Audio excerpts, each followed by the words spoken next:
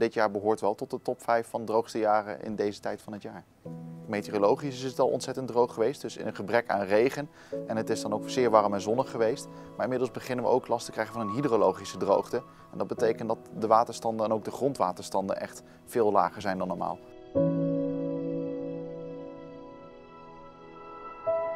In tijden van droogte, zoals nu, zorgen we dat er voldoende zoetwater op de goede plekken zit.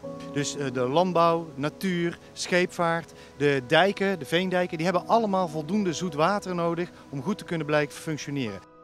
Om droogte te bestrijden hebben we eigenlijk gewoon rivierwater nodig.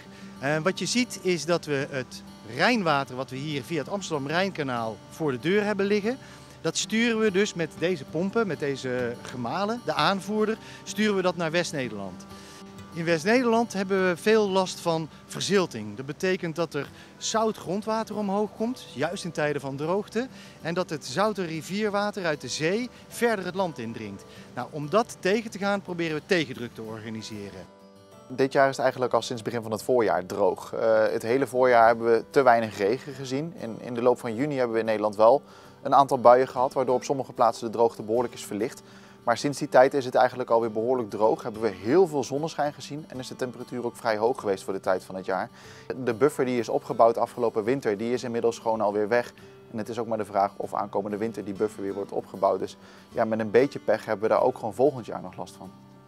In de zomer is het zo dat heel veel water uit de Rijn smeltwater is vanuit de Alpen. Dat is enerzijds sneeuw van de afgelopen winter wat smelt en in de rivier terechtkomt en anderzijds smelt van gletsjers. De Rijn is wel van karakter aan het veranderen. Dus waar het vroeger een smeltwaterrivier was waar vrij geleidelijk elke keer het water kwam, zie je dat het toch iets meer het karakter krijgt van een regenwaterrivier, waardoor de beide extremen groter worden. Dus we hebben langere periodes van laagwaterafvoer. Zeker in de droogte is dat een probleem.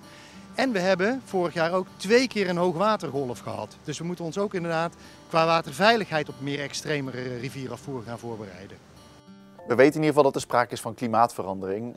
Kijk, eh, in een van de klimaatscenario's is eigenlijk heel duidelijk dat uh, weerpatronen gemakkelijker geblokkeerd raken. Dus dat we langer een aaneengesloten periode hebben van hetzelfde weer. Dat kan dus zijn dat we dus een langere periode hebben met heel veel buien, waardoor het dus extreem nat is in bijvoorbeeld het zomerhalfjaar. Maar een langere, extreme droge en warme periode, dat behoort dan ook tot de mogelijkheden. Dit gemaal was ooit bedacht om pak een beetje één keer in de 10, 20 jaar uh, aangezet te worden.